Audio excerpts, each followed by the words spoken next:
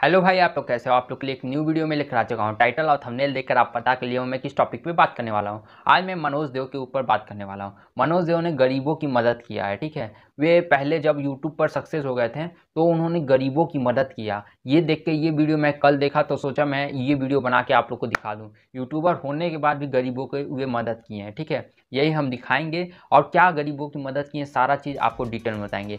इससे पहले अगर हमारे चैनल है प्लीज़ मेरा चैनल सब्सक्राइब करके बेल आइकन दबा दिए क्योंकि लेटेस्ट नोटिफिकेशन आपके पास पहुँचती रहे। मुझसे कुछ पूछना चाहते हैं प्लीज़ कमेंट कर दीजिए या मुझे इंस्टाग्राम पे फॉलो कर सकते हैं। चलिए, आज का वीडियो शुरू कर पहले बात कर ले, जब मनोज देव यूट्यूबर बन गए थे यूट्यूब पे सक्सेस हो गए थे तो मनोज देव ने, मनोज देव के पास एक भाई आए थे, उन्होंने कहा, भाई, गरीबों की मदद कर लेते हैं, थोड़ा सा इतना पैसा कमा लिए हैं हम लोग। तो मदद कर दिया जाए तो मनोज देव ने प्लानिंग किया गए।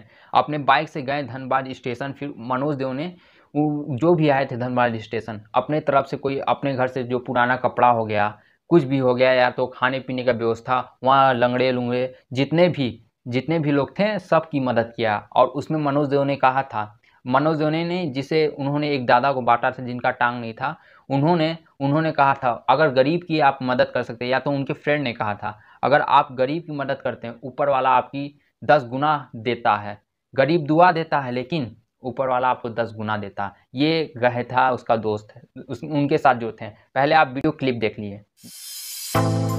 पीछे वाला एक जगह है, जहाँ पे एक शनि महाराज का मंदिर है, वहाँ पे बहुत सारे जरूरतमंद लोग वहाँ पे जो है बहुत सारे बैठे हुए हैं। तो इतने लोग जो है हमें मिले हैं यहाँ पे। मैंने जैसा कि स्टोरी डाला हुआ था तो इतने लड़के आए हुए हैं, सबको बहुत ही ज़्यादा मज़ा आएगा। मतलब कि, और ये आप देख सकते हैं, ये सब सर सामान जो है हम लोग बांटेंगे यहाँ पे। कपड़ा है, खाना है, पेटी में तो बस आप यहाँ से जाने वाले हैं, आप लोग देखते रहिए। और सबसे पहले तो इन सबको इंट्रोड्यूस करवाते हैं। क्या भाई लोग? तो इंट्रोड्यूस तो करवाने में बहुत ही ज़्यादा टाइम लग जाएगा। आप देख सकते हैं इतने लड़के आए हुए लगभग कितने, आठ, दस हो गए ना। तो चलिए फिर हम लोग वहाँ से आप काम करते हैं, अपना काम शुरू करते हैं तो वीडियो में बने रहिए।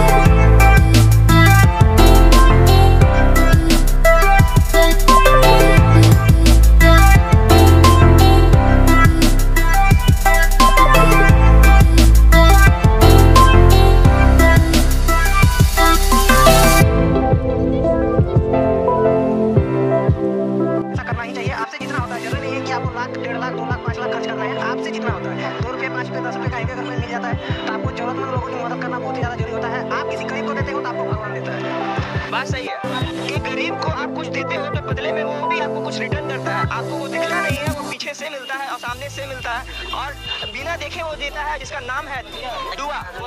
दुआ देता है। गरीब जो देता है, दुआ देता है और दुआ बहुत ही ज़रूरत खरीद के नहीं मिलता जो कभी खरीद के नहीं मिलता, पैसों वालों को नहीं मिलता, ठीक है? तो सरकार से हम लोगों का अनुरोध है कि आप मदद करें इन जैसे लोगों की। जो भी ये वीडियो देख रहे हैं, आप लोगों से मतलब अनुरोध है कि जितना ज़्यादा ज़्यादा हो सके इस वीडियो को शेयर कीजिए, ताकि ये वीडियो बहुत ही ज़्यादा फैले तेज़ी से और आपसे जितना ज़्यादा हो सके शेयर कीजिए, आपको वही देने के लिए होगा। और मैं जो दोस्तों आज की इस वीडियो में मैंने भी जितना भी बांटा है, ये सब किया है, वो सिर्फ़ मैंने नहीं किया। आप बेशक कर सकते हो आप लोगों ने किया। आप मेरे वीडियो देखते हो, उससे एक साथ है, मेरा अर्निंग होता है, तब मैं बांट रहा हूँ। तो ये बात आप बेशक किसी से भी कर सकते हो। मैंने आज गरीबों की मदद की जरूरतमंद की, मदद की, और कैसे कोई पूछेगा कैसे तो ये वीडियो देख लिया होगा वीडियो क्लिप कैसे मनोज देव ने मदद किया। इसी तरह हम कहना चाहते हैं, ठंडी सर्दी का मौसम आ गया है अभी के टाइम। आपके पास कोई भी, किसी के पास भी कपड़ा वपड़ा अगर फालतू पड़ा हो ठंडी का तो जाके उस गरीब को जिसके पास नहीं है, सोने के लिए जगह नहीं है, उसे जाके दे के मदद कर सकते हैं। इतना सा छोटा सा काम तो आप लोग कर ही सकते हैं। इसी इसी तरह मनोज देव ने हम, मनोज देव के बारे में बताएँ हुए टेक यूट्यूबर में आते, इसलिए मैं टेक कैटेगरी का चैनल था। मैंने सोचा, चलो मनोज देव के बारे में इस वीडियो को बना देता हूँ।